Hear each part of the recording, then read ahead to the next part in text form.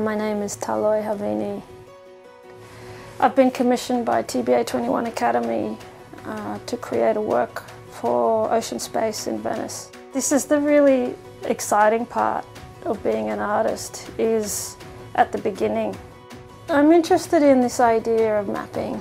I find this fascinating, the idea of sound here using multi-beam technology. I'm indigenous to the Pacific, which is the Coral Sea.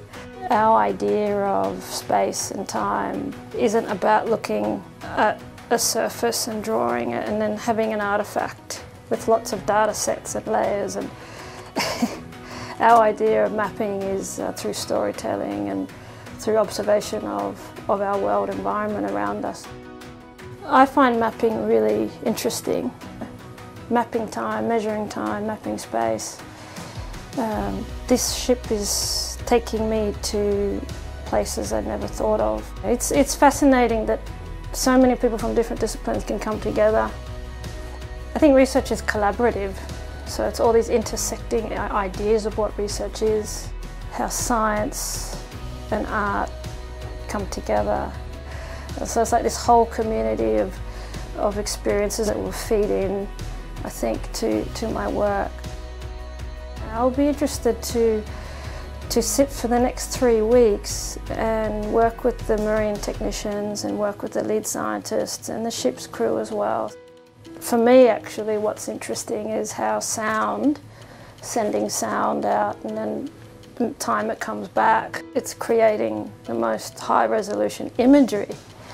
So for sound to create image is really cool.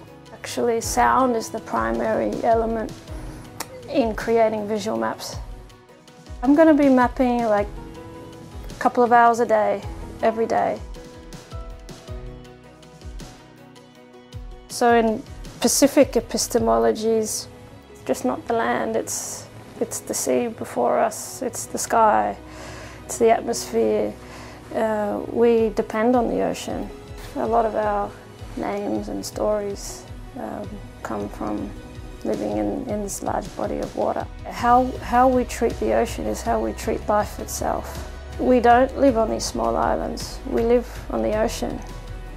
And it's not a small place. The ocean is a part of our life as a Pacific Islander.